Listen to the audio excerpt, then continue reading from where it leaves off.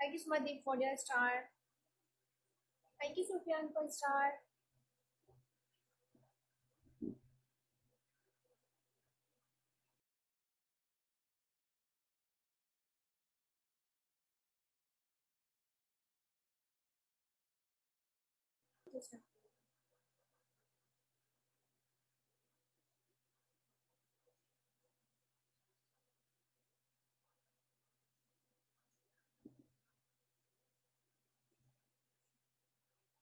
कल आपको dream castle मिलेगा तो